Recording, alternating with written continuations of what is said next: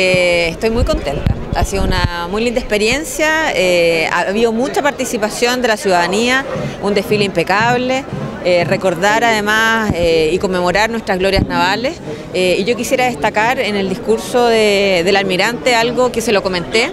y que yo creo que tenemos que, que tenerlo muy presente a propósito del comandante Prat, de sus valores y de su actuar.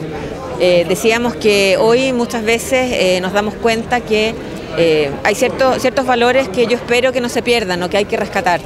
El trabajo honesto que él hizo, el servicio público a la comunidad eh, y ser un líder cercano, integrador, yo creo que son cosas que tenemos que recordar y tenemos, tenemos que hacerlo presente eh, hoy día en nuestra sociedad. Nos hace falta, como región tenemos que avanzar en eso y, qué mejor, digamos, que, tomar el ejemplo del comandante Prat para, poder recordarlo y para poder implementarlo y aplicarlo hoy, en día